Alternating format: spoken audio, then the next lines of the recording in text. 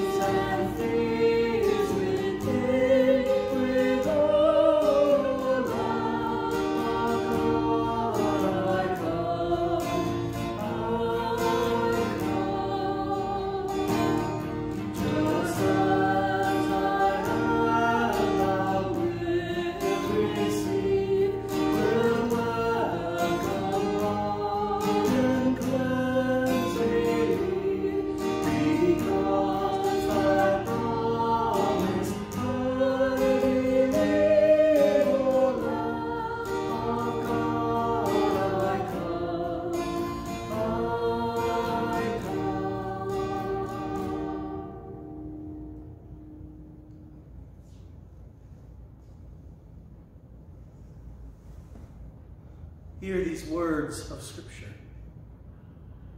It was just before the Passover festival. Jesus knew that the hour had come for him to leave this world and go to the Father. Having loved his own who were in the world, he loved them to the end. The evening meal was in progress, and the devil had already prompted Judas, the son of Simon Iscariot, to betray Jesus. Jesus knew that the Father had put all things under his power, and that he had come from God and was returning to God. So he got up from the meal, took off his outer clothing, and wrapped a towel around his waist. After that, he poured water into a basin and began to wash his disciples' feet, drying them with the towel that was wrapped around him. A new command I give you love one another. As I have loved you, so you must love one another. By this everyone will know that you are my disciples, if you love one another. Simon Peter asked him, Lord, where are you going? Jesus replied, Where I am going, you cannot follow, but you will follow later. Peter asked, Lord, why can't I follow you now? I will lay down my life for you. Then Jesus answered, Will you really lay down your life for me? Very truly I tell you, before the rooster crows, you will disown me three times. And from the Gospel of Luke, chapter 22. And he said to them, I have eagerly desired to eat this Passover with you before I suffer. For I tell you, I will not eat it again until it finds fulfillment in the kingdom of God. After taking the cup, he gave thanks and said, Take this and divide it among you. For I tell you, I will not drink again from the fruit of the vine until the kingdom of God comes. And he took the bread, gave thanks, broke it, and gave it to them. This is my body given for you. Do this in remembrance of me. In the same way, after the supper, he took the cup, saying, This is the new covenant in my blood, which is poured out for you. Our third reading for this day also comes from Luke's Gospel, chapter 22, verses 39 through 46. Jesus prays on the Mount of Olives. Jesus went out as usual to the Mount of Olives, and his disciples followed him. On reaching the place, he said to them, Pray that you do not fall into temptation. He withdrew about a stone's throw beyond them, knelt down, and prayed, Father, if you are willing, take this cup from me. Yet not my will, but yours be done. An angel from heaven appeared to him and strengthened him. And being in anguish, he prayed more earnestly, and his sweat was like drops of blood falling to the ground.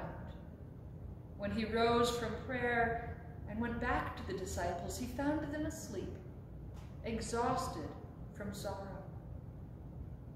Why are you sleeping? He asked them. Get up and pray so that you will not fall into temptation. This is the word of the Lord. Thanks be to God. Please join me in prayer. God among us, when we cry out for justice, you hear us. When we fall to our knees, you witness us. When we lean into your comfort, you hold us. When we lose our way, you guide us. Hear our prayers. Stay with us here as we seek your way toward hope and wholeness. We name, O oh God, that at times it is hard to stay loving in the face of cruelty, neglect, and harm. Yet even when Jesus knew his friends would betray and abandon him, he showed us how to center our whole selves in your love.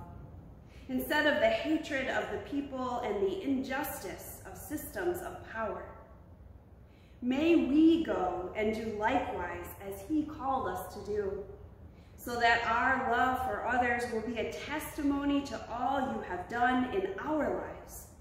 Through the life and ministry of Jesus, you taught us how to love fiercely, how to honor one another fully, and how to serve with humility and kindness. Through grace, you join us together as one body. Be with us today and every day as we seek to pour out love as disciples of Jesus. Amen.